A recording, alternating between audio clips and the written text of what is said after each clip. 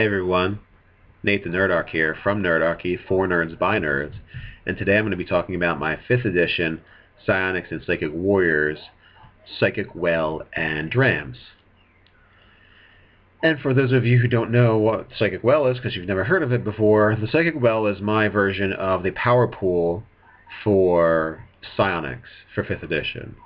So basically it's a kind of metaphoric place where the your power has begun or starts inside of your your mind and body. So psychic well is going to have two different, uh, several different ways to get it to happen. So it's kind of like your origin story for your psionics. Uh, they've had different things like Wilders and just a general psionicist, and each one of those were like the contemplative master for the psionicist, general psionicist, and then you also had the Wilder, which was just like you just have this, you have no training. And I just decided to do away with uh, and worked on personal presence and charisma rather than willpower. And I think uh, I just want to standardize it. Everything is will, everything is willpower, and what you have is um, you have the contemplative master who goes might have some kind of talent for psychic phenomena and you know knows what people are going to say next or might know what's happening you know down the stream somewhere in the next town uh, down the river down in the next town. But they they say hey you have some talent for this. Maybe we should send you to the monastery. And you're also kind of creeping us out. So how about you go to the monastery so they send their kid to the monastery to be trained by uh, psychic warriors and these psionic masters. And you know, through the years, he slowly uh, there the the junk and detritus in between. You have people in between these two, not people. You have junk and you know hang-ups and all kinds of issues in between the meditative guy at the top and his psychic well at the bottom. So he's slowly over the years through meditation, trance, and exercises, you know, like standing on waterfalls and putting carrying very heavy rocks and all this kind of different physical and mental training. On the physical side of this training, you have this exertion of uh, energies and basically endurance and what that is is you're pushing your body past the limits of what it can do. And also you know st- standing or sitting for hours and hours just thinking about the universe and your place in it and kind of you know gaining some kind of intuitive understanding of where you are and where you're going uh, that slowly excavates out this um, hole for your well into this you know, going through all your the barriers that are in between you on the surface of you know your conscious mind and the well hidden within your mind. So, as you go through this process, you're getting to the well, and then you get to it, and you gain psionic powers, and you know you're going to shore up that well. You're going to put blocks, block by block. You're going to create this kind of intellect tower this tower of will inside your mind uh, where you can easily just have all the psionic power stored and have it fill up and uh, take little drams or drinks from it as as you want and as you need to. And then you know every day that'll get filled back up to whatever your capacity is for the depth of your well. And you can, excuse me, you can go back and do it again and do whatever else you've learned how to do and whatever else you've created with your psionic circuitry and psionic your your psychic conduits. Now, that's the contemplative master, you know, thinking about the universe direct uh, route, and that could be your origin story as a psionicist. Uh, as a psychic. But there's the other side of that, which is the instantaneous uh, transformation or the instantaneous explosive excavation of that well.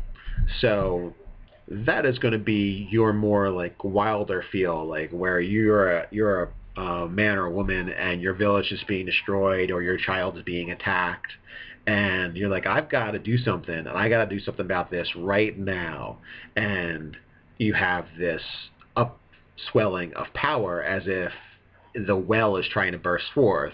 And instead, you just were reaching for whatever you could, grabbing whatever you could get a hold of, and you excavated your well, in a sense. You could so that's kind of like the imagery of you just like blasting a hole down to where your psionic power is and reaching in and just grabbing whatever drink you can, whatever drams you can gain. So that's the way I see the psionic powers developing in someone as a wild talent or, you know, wild talent, you could also be the contemplative master where you kind of stink and you're like, well, I went to school for this, but I'm lame at it. And Wild Talent is, you know, going to be similar to um, Magic Initiate as a feat. Uh, you can take it at first level or whenever you get it. And basically, if your powers have, your psionic ability has developed enough that you've gained a first level ability and some cantrips. And I mean, the cantrips are good, but, you know, you're not ever going to get very far with your level of skill. And maybe that'll go further and you'll say, well, I'm uh, I've got this magic initiate, and then I'm going to go further and further and get more, more and more powerful.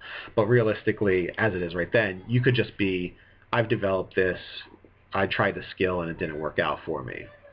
Uh, or I went a different way and I've had some training in it.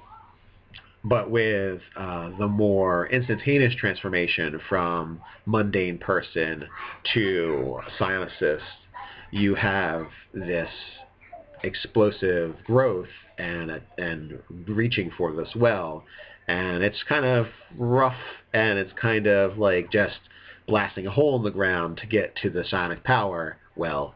Uh, but you can use it, and you you use it uh, very um, instinctually uh, through your intuition, and that is how you get about still using a wisdom score but for the for the power set for both the the both origin stories.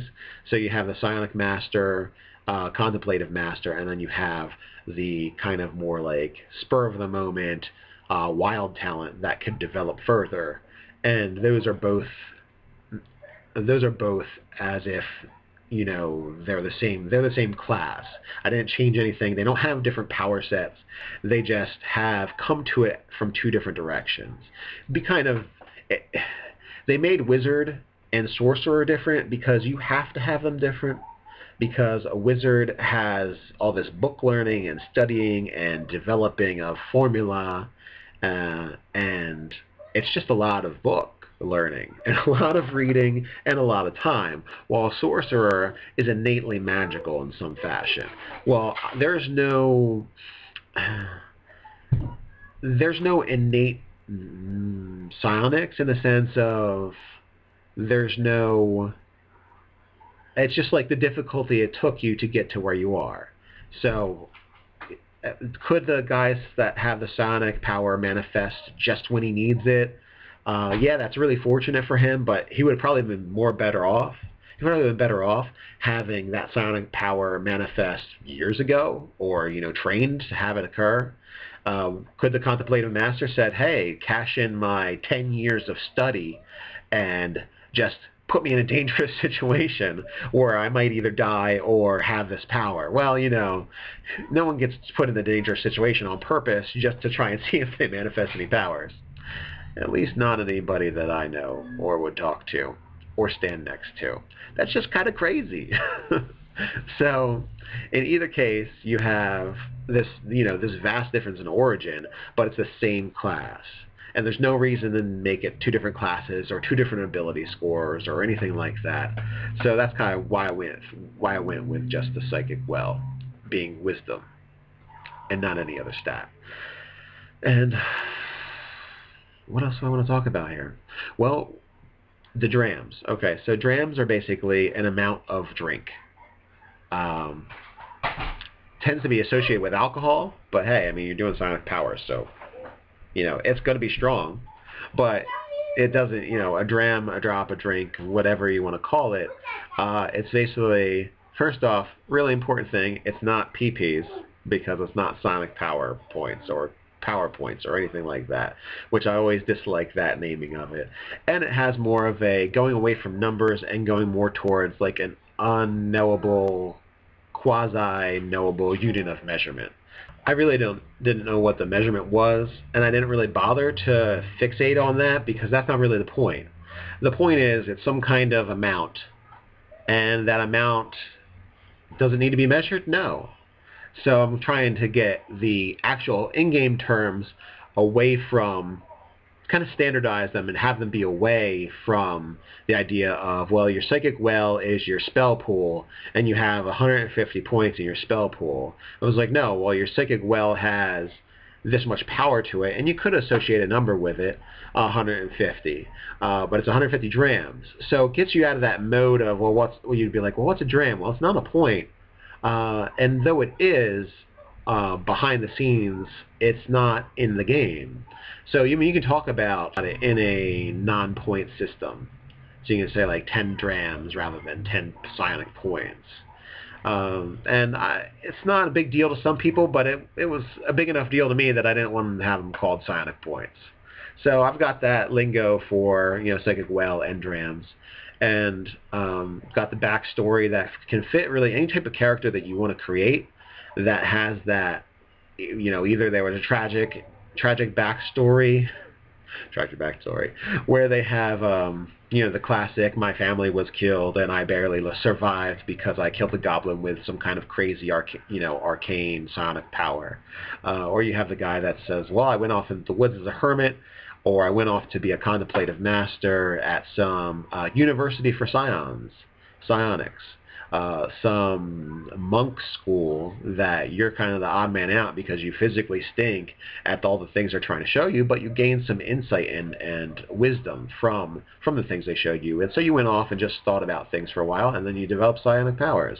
Or you could have go to where it's like a school, like for psionics, and you're just going at it until it happens. So you might never have psionic powers, and that's another thing. It's not that everybody that has psionic powers are able to develop it. It's that uh, everybody that has psionic powers are one of the people that could have developed it. So uh, it's it's in you, it's in everybody to be a psionicist, but some people just don't have the potential to be a decent psionicist, even to the point of having a cantrip. So it's kind of like everybody has some insight and wisdom that seems beyond norm, uh, or that they've kind of pulled out of thin air in a way. Uh, but to have it reliably uh, to, at the psionic level, at the psychic level, is something completely different.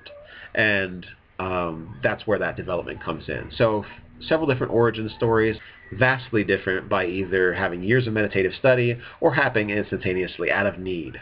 Both cases, all cases, they're going to be it's going to be will that's going to be driving it. So with that, like, comment, subscribe. If you have anything that you'd like to add or you'd like to go check out what's going on with my homebrew psionics, you can check it out at nerdarchy.com. Uh, you know, have a good day, evening, wherever you are, whatever you're doing. And remember, stay nerdy.